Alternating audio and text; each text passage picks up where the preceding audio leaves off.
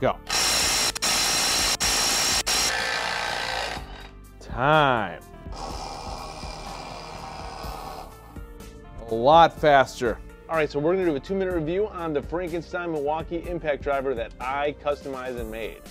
All right, so I was actually proud when I made this. This uh, did go viral on other channels. If you guys were interested in making this very quickly, I will tell you that you will need the, uh, the Milwaukee M12 stubby impact wrench to swap the anvils with. As you can see, that anvil is actually for the Milwaukee impact driver with a 3 amp hour high output battery.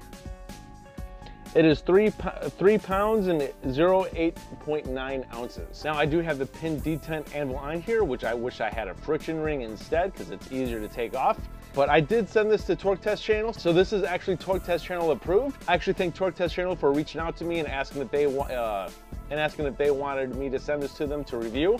And I did, and I actually love their video. It's actually their most viewed video, so go check out Torque Test Channel. Torque Test Channel is extremely entertaining to watch with completely accurate results. So this was Torque Test Channel approved, and I seriously thank them for doing that. So if you guys are interested in making this modification to your Milwaukee quarter inch hex impact driver, uh, plenty of videos that I uploaded for doing that, and it is very simple. So that's pretty much it on this MCT two minute review. I'll see you guys on the next one.